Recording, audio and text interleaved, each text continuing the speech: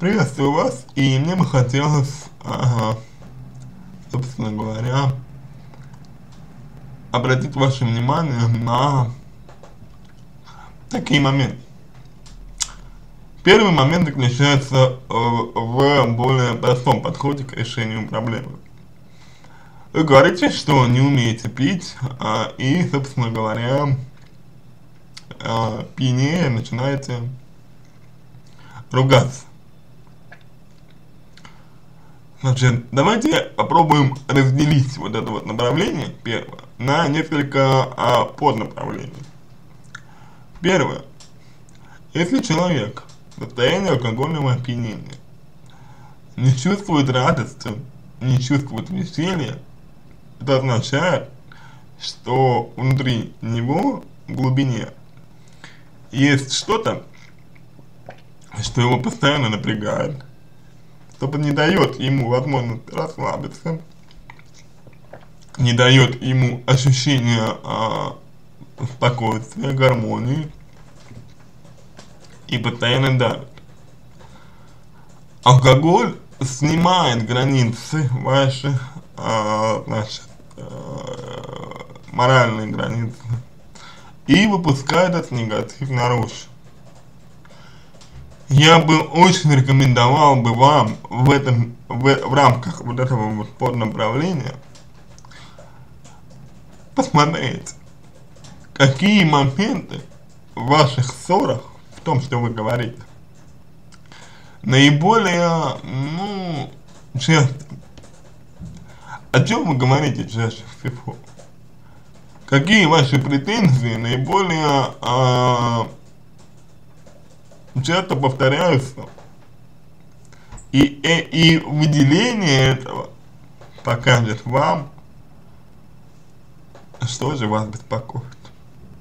И вот с этим, с тем, что вас беспокоит, нужно работать. Нужно э, разбираться, почему вас это беспокоит.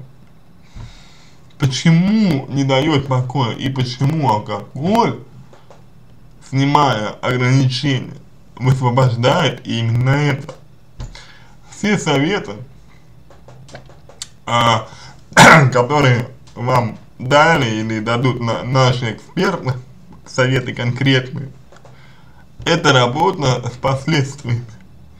Не пить вообще, пить меньше и так далее. Это следствие.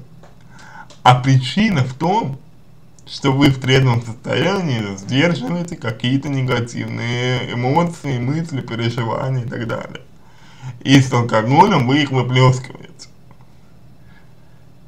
Нужно понять, что это за переживания и поработать с ними, чтобы вы их научились, во-первых, видеть, осознавать, в-третьих, э, устранили их, э, изменили к ним свое, свое отношение, и тогда алкоголь не будет вызывать у вас такого поведения, так как мотивации уже не будет, стимула к нему уже не будет. И, возможно, выпивая, вы будете вести себя иначе. Следующее поднаправление, более конкретное, оно связано а, с тем, чтобы вы, когда пили, вот вы пьете, когда обязательно а, больше закусывали чем больше вы будете кушать при потреблении алкоголя, тем меньше будет, опи будет опьянение. А, дайте себе зарок не пить натощак и дайте себе зарок а, есть а, сытную жирную пищу, когда пьете. Тогда опьянение не будет таким сильным, и вы э, не будете терять контроль над собой. Следующее направление, о котором я хотел бы поговорить, заключается вот в чем. Вы пишете, что в компании с друзьями вы потребляете алкоголь. И пишете, что а, также выпиваете с молодым человеком в выходные дни. То есть для вас это такой вот способ проведения досуга. Возникает вопрос, а почему именно этот способ проведения досуга, как с друзьями, так и с молодым человеком, является для вас единственным? Ведь можно провести время а, и другими способами, не обязательно связывая их с алкоголем. Может быть, вам стоит обратить внимание на это, То есть я понимаю, что вы хотите расслабиться, развеяться и так далее. Но алкоголь это довольно вредно э, время проводить, особенно если потреблять его часто. И может быть лучше стоит э, просто выбираться на природу, получать новые впечатления, ходить, гулять, ходить в кино, на аттракционы, в цирк, в парк и так далее. То есть выбирать себе такие виды досуга, которые бы не несли с собой алкогольного опьянения, тем более, что вы знаете, что на вас оно влияет негативно. Подумайте, что было бы вам ближе, что было бы вам роднее из всех возможных видов досуга. Выберите его и просто скажите алкоголю нет. Мужчина хочет пить, пусть пьет, но пьет без вас. А если он любит вас по-настоящему, то он, я думаю, и вместе с вами перестанет.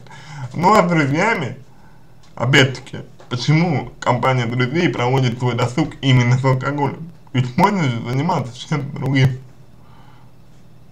Лучше подумать о том, какие бы виды досуга вы могли предложить своей компании, себе своему молодому человеку взамен регулярного потребления алкоголя это могло бы решить ваши проблемы.